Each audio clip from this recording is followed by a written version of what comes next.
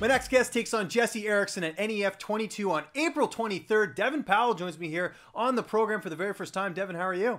Uh, wonderful. Yourself? Hey, fantastic. And thank you for asking me. Not everyone asks how I'm doing, so really appreciate that. And uh, right off the bat, Devin, uh, for those who aren't familiar with your backstory, how did you get involved in combat sports? Uh, honestly, I, I wasn't a wrestler or anything. I found a job at a passport center out of high school and I became complacent and I kind of hated everything about it. I was searching for kind of a new route to go for something that I could become passionate about. I get home from the passport center working for second shift and every night WEC WrekCage would be on. I'd watch Carlos Condit just wreck fools and I, I decided I was going to go find an MMA gym at that time. It was Seacoast MMA and BJJ and I took to it right off the bat. I became passionate and, and I just loved it and then just started going every day and that, that eventually evolved to all of this. And you mentioned the WEC there. You kind of bummed a little bit that they didn't let that go on a little bit longer, uh, you know, kind of as like a feeder organization. Because I certainly miss those days when they used to have the cards, you know, and Versus and everything else. Uh, it was it was a really good product. Yeah, I, I was a big fan because you could kind of I mean, we, we have a lot of different organizations at this point now with Bellator and World Series and the UFC all being pretty pretty high up there. But um, WC kind of had something special with the little guys. They had a few higher weights. You know, Brian Stann was in there, and you you know they but I don't think they really did too much with the higher weights. It was nice kind of having the small guys have their own spot to always you know shine. Now it's every once in a while we get to see Demetrious or we get to see Dom Cruz when he's healthy, but you know, I, I definitely liked it a lot. It was nice when it was separate. Now, now you mentioned earlier there that uh, you, you know you work for a passport company. Are you still doing that? Like, what pays the bills along with MMA for you right now? Um, I actually own my own mixed martial arts academy now, Nostos MMA in Somersworth, New Hampshire. So I teach full time. I'm also the Brazilian Jiu Jitsu coach for um, Danvers, uh, the uh, St. John Prep School there, and um, every once in a while I, I pick up a job at North Andover High School. I took this one off because the fight coming up this semester, but I also teach a wellness credit there, so I'm pretty much teaching jujitsu or kickboxing or Thai, you know, things I'm passionate about every day, and then also doing my own training. That's so, great, and it's yeah. nice they go they go hand in hand. You know, you're not like stuck in an office or like in your case stuck in a passport office. You know, having to go do long shifts and then go do training. So that, that's awesome to hear that you figured out a way to kind of make it all work. And uh, I was looking at your career here. You made your pro debut in 2012, and uh, you've amassed a five and one record so far. But I noticed you only fought once in 2015. Why was that? Was that injuries? Was that a hard time getting fights? Why why just the one time last year? Uh, yeah, that that was honestly just um, I after I fought Lemke, I had like, uh, I, think I, I opened the academy um, a week or at the most two weeks after, and my biggest thing was making sure everything fell into place there. And I really, I mean, I never lost interest in fighting or anything, but my biggest, uh, the biggest thing to me was making sure the academy thrived. And the thing is with fighting, you have a timeline you know, I have a four year old. I, I don't spar hard often. Um, I try and be really smart about my training because you want some longevity with your career, but eventually it's going to subside and you need something else. And I don't want to work at Burger King. You know, props to the people that enjoy it and that are able to do that for a living. But I want to teach jujitsu to little kids and I want to, I want to teach mixed martial arts. So I needed to make sure while I was still young and healthy, I really pushed hard to, to make that explode. And our academy is doing awesome right now. And I'm also able to staff the place so that I can get my own training in and also, you know, get out and, and see some other people and, and do the things I need to do. So that was pretty much it. You know, I, I was just really focused, invested in my academy.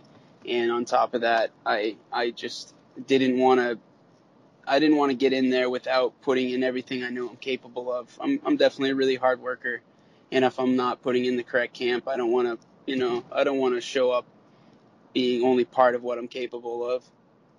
Let's talk about this fight here. Uh, NEF 22 uh, taking on Jesse Erickson, who's won three straight fights. Uh, how do you think you match up against him? Uh, good. I think we have similar styles. You know, we're both BJJ brown belts. Um, he, his striking's come a long way, I think.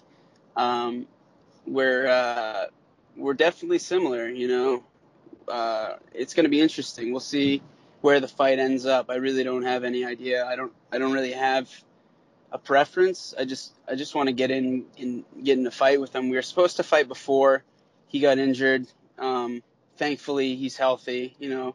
Uh, you know, I know he's a family man too. So, and we got to kind of you know look out for each other. Regardless of us fighting it's still something that uh you know you never really want to wish that kind of thing upon someone. So he's healthy things happening i'm really excited. I think a lot of people want to see this fight and uh, i think it's going to be a good one to watch. And who are some of the people helping you get ready for this fight? Um, i have a lot of different guys at my academy um, uh, different coaches guys that have been with me all along like Adam Rivera. Troy Pickering's been coming down. He's uh, both those guys are from Seacoast MMA days. Um, I have Port City BJJ over in Portsmouth. That's where I got my brown belt. Those guys, I mean, they're they're kind of tucked away, but the jujitsu there is absolutely incredible. Three black belts on the mat all the time, and they're just freaks. Um, and then at my academy, I have Keegan Hornstra, who's a phenomenal pad feeder. I have this kid Tim Hagen, who's just a little prodigy for the Muay Thai. Um, and then I have a handful of great state champ wrestlers, always trying to put me on my back. And uh, you know, just I got a lot of different guys, different styles. Um, we got a, a handful of really talented MMA fighters. Cody Lightfoot's able to lay his fat on me a bit and get heavy. Don't worry, he's not too sensitive about that. He talks about himself. Say, yeah. but uh, but yeah, a bunch of different guys. Um, you know, I, have been trying to get over to see Hanan Borges, who's a really good BJJ black belt. He's um, he's uh, I think he's around ten in like the IBJJF rankings. He's he's a bad man. I was going over there a bit to see him with uh, with their team flow, which is a really awesome gym think it's Lowell. On the I live in Maine, so every time I travel, I just plug it in my my phone and show up. But but yeah, I got a, a bunch of different options. You know, honestly, it's it's tough to get anywhere um, with with owning the academy and teaching seven days a week. But I, I don't just sit back when I teach. I roll every single night. I, I do everything I'm supposed to, even though I'm, I'm instructing as well. Um, but when I when I get out, it's to those places. That's great. Now I got to get a prediction for this fight. How do you see this one going down on April 23rd? Um, you know, I I think first round stoppage. You know, I, I'm not going to say how, but I, I think that you know I think I have the tools. You know, I'm sure he said the same thing, but that's why we fight, right? Right, absolutely, absolutely. Well, uh, Devin, I want to thank you so much for joining me here on the program. I uh, just remind my audience where they can get a hold of you on social media and give any thank yous or shout outs. The floor is yours, man. Uh, yeah, I mean, you can get at me. You can check out my academy, Nostos MMA. It's N O S T O S MMA on Facebook, or you just type that in right to the website action. Um, and then just just got to thank all my teammates, everybody at Nostos, everybody at Port City that that helped me get get there. Um, Jay Jay Mansfield, Derek Stevens, James DeLuca, those guys all gave me the blessing to open my own academy.